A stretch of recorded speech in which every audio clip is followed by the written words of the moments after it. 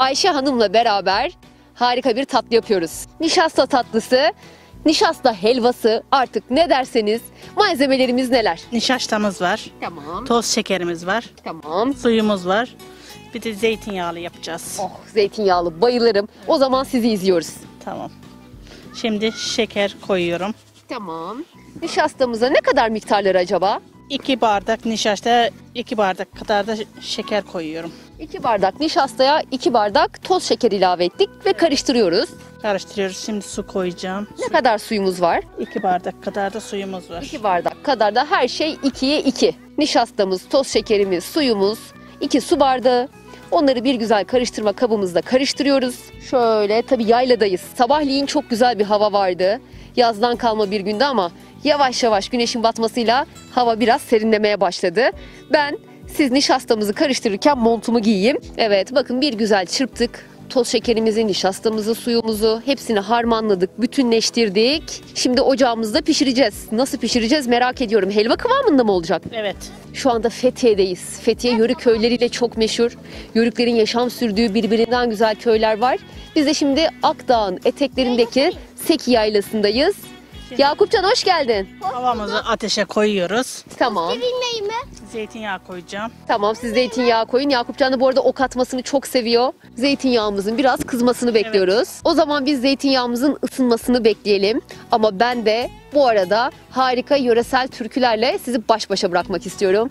Arkada yörük beyefendiler bakın yörük kıyafetleriyle bizi bekliyorlar. Ve mikrofon sizin, sizi dinliyoruz.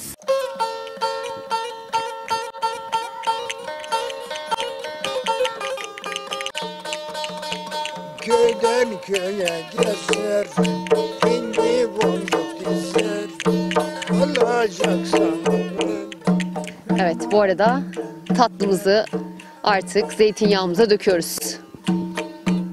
Vay vay vay vay zeytinyağıyla nişastamız, sos şekerimiz, suyumuz buluştu. Bir yörük tatlısı bu. Yörüklerin bol bol yaptığı geleneksel bir tatlı. Şimdi bunu karıştıracak mıyız? Evet. Karıştıra karıştıra pişireceğiz mi? Evet. Karıştıra karıştıra pişireceğiz. Telemenleşip gidecek. Telemen telemen olacak. Tamam. O zaman tatlımızın pişmesini bekliyoruz ve bir yandan da yöresel müziğimizi dinliyoruz.